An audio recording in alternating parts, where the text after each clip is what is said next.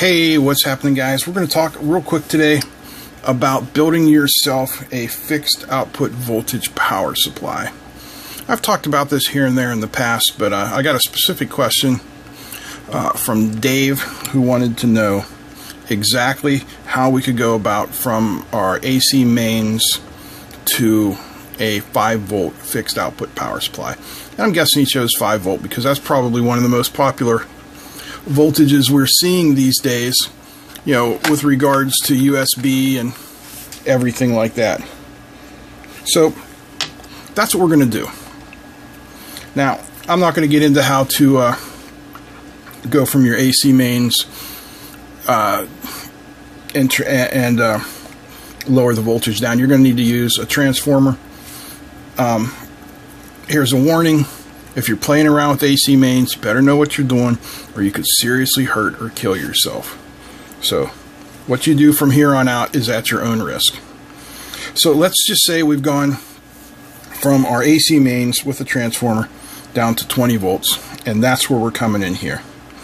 And from that, we've simply taken uh, four diodes and built ourselves a simple full bridge rectifier. Our AC comes in here at these two points. DC comes out here at these two points. Uh, if you can save yourself some trouble, buy yourself a simple bridge rectifier IC. This is a KBP307. Just saves you from having to set up the diodes, but I've done it for so long that it's really no big deal whatsoever. So let's take a look. I'm going to hook up. Um, I'm going to hook up the scope here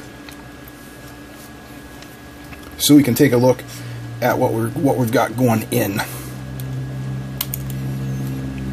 And then we'll we will uh, of course take a look at what comes out. Alright so we're going to roll up here and take a look at the scope. And there you go. You see we've got a 20 volt peak to peak sine wave. Nothing spectacular but I mean that's what you'd expect from AC that's had its voltage lowered down. So that's the voltage, in, or that's the waveform in. Now let me uh, let me grab a couple things I can poke in here so that we can hook up to the output. Come on, play nice.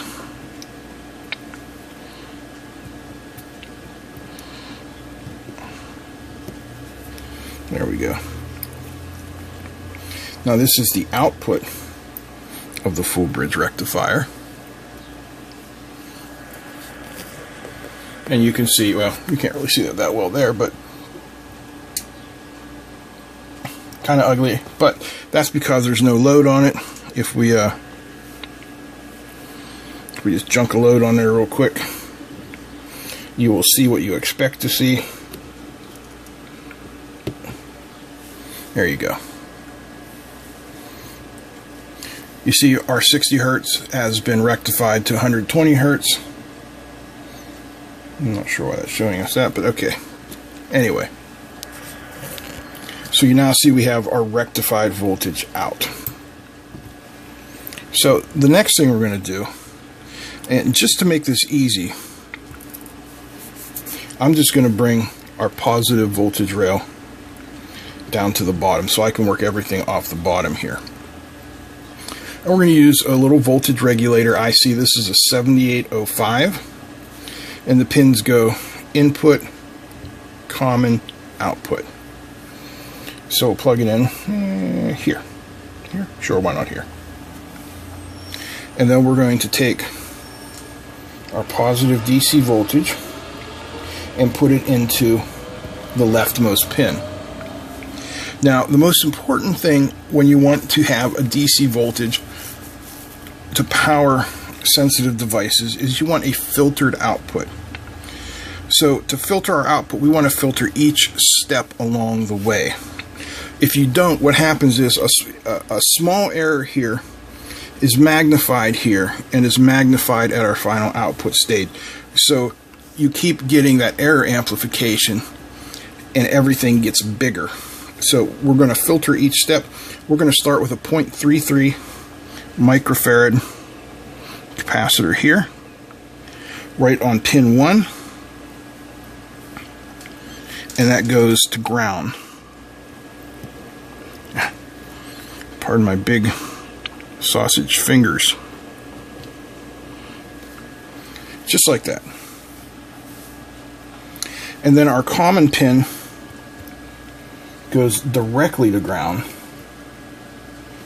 Just like that. And then we're going to use a 0.1 microfarad capacitor over here on our output like that. And it also goes to ground. Now remember, a capacitor is going to block DC current and only pass AC. So what we're doing is we're smoothing out that ripple. So now we're going to take our output over here from pin number 3. That's our output. And what do I do with that resistor? So that we have to have a load or it won't behave properly. So if we just go like this and we put our load in here, we can now take a look at our output.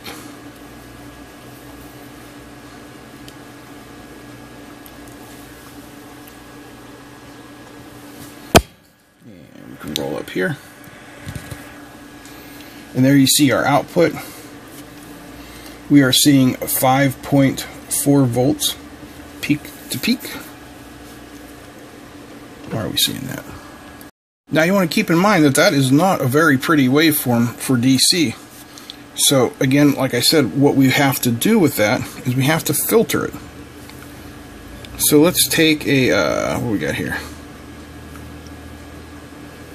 Can't even see it. This is a 470 microfarad capacitor.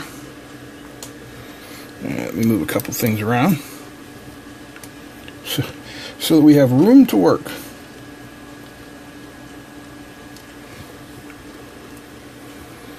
Put our 470 here in, in parallel with that. And we'll plug it in. And now you see we have a much better voltage. You see we're right there on 5 volts. Okay, there's 2 volts. So 2, 4, 5. And you see we have 160 millivolts peak to peak. That's pretty smooth. If you want to increase your filtering, all that you need to do is change out or add to your filtering capacitor something bigger. This is the biggest capacitor I have on hand, 3300 microfarad. We'll plug it in here, hopefully. And this should smooth things out considerably, yeah. Now if you go up there and you take a look, you can see it can't even find a frequency. And we've got 160 millivolts. I thought it'd be lower than that. There we go. About 80 millivolts peak to peak. So that is your basic DC fixed output power supply. Are there other ways to do it? Yes, of course there are other ways to do it. You could use a, uh, capacitive dropper um, those are a little bit dangerous. I don't recommend you play with that. Stick with a bridge rectifier. It's a very well used common technology. Everybody knows how to do it. You'll find a ton of documentation out there. And, and the same with um, regulating your power. Go with a simple, um, what did I do with the box of them? Here they are the uh, 7800 series rectifiers. You can find them for whatever you want. There's a uh, 5, 6, 8, 9, 10, 12, 15, 18, 24 volts. You can also get them in negative voltages. Um, last thing before we go, I want to thank uh, our viewer Mike for these wonderful wire strippers. I really like them. They are the uh, Knoweasy, and they are model uh, LS700D with a cutting range of 0.5 to 6 millimeters, 175 or 170 millimeter length. They work absolutely fantastic. I've been using them to make all my breadboard wires lately. They have this uh, adjustable throat in here. So you just pop your wires in there like this. Click. And you get a perfect strip. So thanks, Mike. Thank you guys for watching. Big thanks to the uh, patrons. Don't forget to like, share, and subscribe. That's it. I'm out. Peace.